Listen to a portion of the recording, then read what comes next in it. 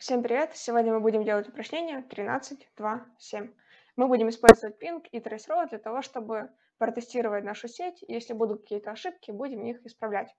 Для этого скачиваем наш PK-файлик. А вам также нужно будет скачать PDF-файлик, чтобы отвечать на вопросы. Я открываю PK и ждем, пока он откроется. Если у вас вдруг будет окно, где буду спрашивать логин и пароль, вы указываете точно такие же, как в NetAcad. И дальше вы сможете приступить к выполнению самого задания. Вот наше задание уже открылось.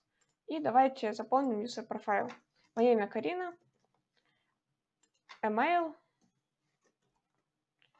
и группа.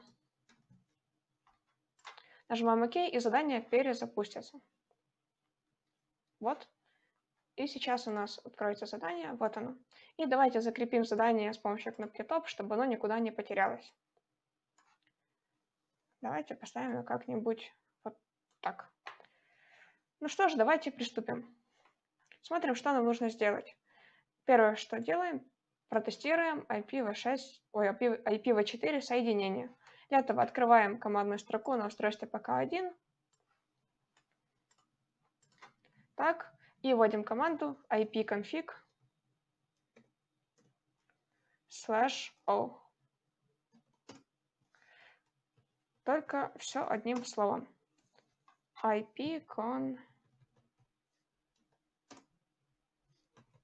бывает. Вот.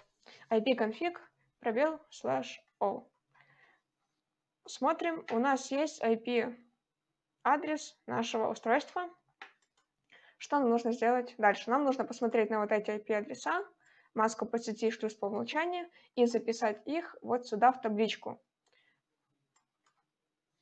Если вы запишете, вам будет намного удобнее пользоваться ими и копировать отсюда, а не смотреть в выводе вот тут.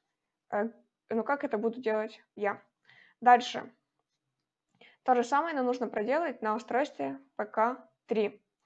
Также открываете устройство, команда ipconfig all, он ПК3 вот с этой стороны.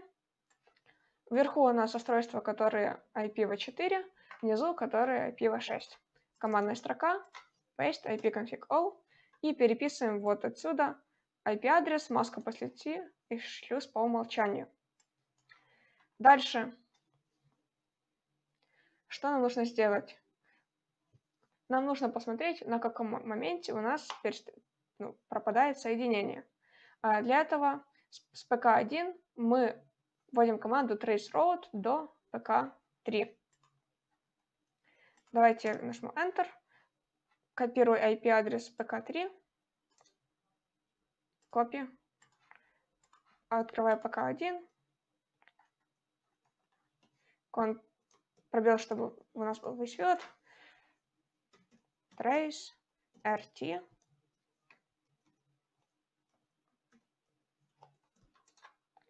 Paste. И смотрим на трассировку маршрута. Вот у нас прошло первое устройство. Скорее всего, это S1. И дальше ничего не происходит. То есть, э, судя по этому выводу, у нас ошибка происходит на устройстве 10.10.1.97, дальше которого наш пинг просто не может выйти. Сам трейсроуд ну, ну, ну, будет пытаться пройти по маршруту 30 раз. Нам это не нужно, потому что мы уже знаем, что в этом устройстве ошибка, поэтому нажимаем команду Ctrl-C. Все, мы вышли из этой команды. Давайте проделаем точно то же самое, но с устройства PK3 и traceroute на PK1. TraceRT, IP-адрес ПК1 у нас вот такой вот.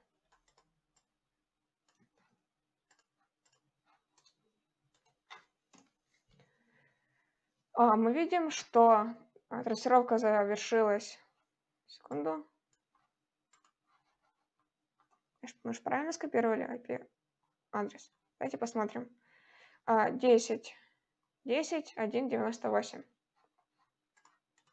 ПК3 а, 10.10.1.98. Вот, теперь трассировка у нас нормальная. А, вот у нас первый IP-адрес, который мы попадаем, я так понимаю, это S3. И смотрим дальше, что у нас все так же повторяется один и тот же IP-адрес, дальше которого наш маршрут не может проложиться, потому что в этом IP-адресе, в этом устройстве какая-то ошибка. Опять-таки Ctrl-C, чтобы мы не ждали, пока трассировка пройдет 30 раз. И двигаемся дальше. Открываем R1. Давайте задание. Вот. Открываем R1. Нажимаем Enter, чтобы войти в настройку. Далее входим в наш роутер. Пароль у нас по дефолту Cisco и класс. Вводим их. Cisco, Enable, класс. Готово. Мы попали в привилегированный режим Execute. Дальше нам нужно ввести команду show IP interface brief. И мы можем видеть все IP-адреса, которые у нас есть на этом устройстве и интерфейсы, которые нам подключены. Мы видим вот наш проблемный IP-адрес, э, на котором у нас завершался traceroute и не мог проходить дальше. Значит, с ним какие-то проблемы, нам нужно будет это исправить. Смотрим дальше. И, и вот у нас, да. Давайте введем команду show IP route. И мы можем видеть также вот вывод всей необходимой нам информации, чтобы можно было понять, чем ошибка, и ее исправить. Давайте сразу же это и сделаем. Для этого на... Ой, не так. А, теперь открываем R2. Давайте удостоверимся, что мы знаем, как исправлять Cisco.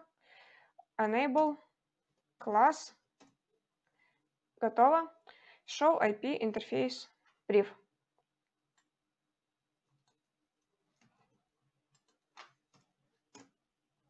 Вот. Так, окей. И, как вы можете видеть, нам нужно настроить IP-адрес на R2 на, на serial интерфейсе 000 на IP-адрес 10.10 1.5, а он сейчас у нас 1.2, что не совсем правильно. Все-таки, да, аж я была права по поводу того, что у нас не так. Вводим команду conft. Теперь а, настраиваем наш интерфейс int serial 0, 0, 0. Далее указываем IP-адрес. IP-адрес 10, 10, 1, 5, 255, 255, 255, 252. Enter. И теперь давайте введем команду no shutdown на всякий случай и exit.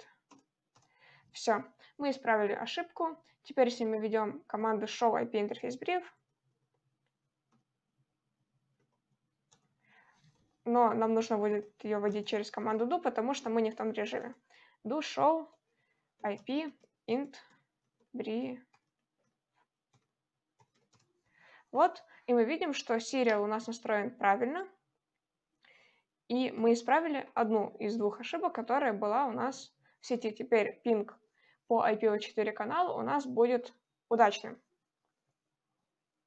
Вы можете это проверить, а я приступлю к работе с IPv6. Вам также нужно будет прописать вот эти команды IPv6 config all на устройстве PK2 и PK4. Отправить сначала ping, посмотреть, что происходит, потом с помощью команды traceroute посмотреть, на каком IP-адресе у нас останавливается traceroute и не уходит дальше, и это исправить. А я приступлю сразу же к исправлению. Для этого нам нужно открыть PK4 и настроить ему правильный default gateway, либо шлюз по умолчанию другими словами. У нас здесь указан FI 8.0 2 в конце, а у нас должна быть цифра 3. Выбираем, закрываем, и таким образом у нас задание выполнено на 100%. Вам осталось проверить соединение между этими устройствами и удостовериться в том, что проблема решена. А на этом все. Всем пока.